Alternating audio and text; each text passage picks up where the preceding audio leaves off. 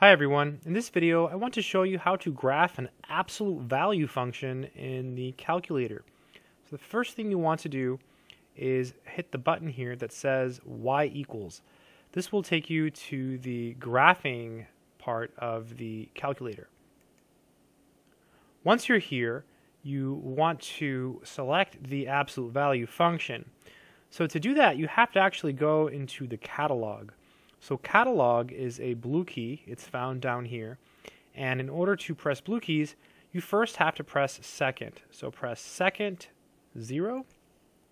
And there it is. There's the first one. ABS, that's absolute value. So just click enter. And you get the absolute value bars. Let me do that again. So you hit second, zero. Then just hit enter. And then let's type in x. That's your variable key minus, and then 1. You want to get out of the absolute value, so you want to hit the right arrow key now. There we go, and then plus, and then 2. All right, good stuff. All you have to do now is hit the graph button, and we have our absolute value graph. Let's try it.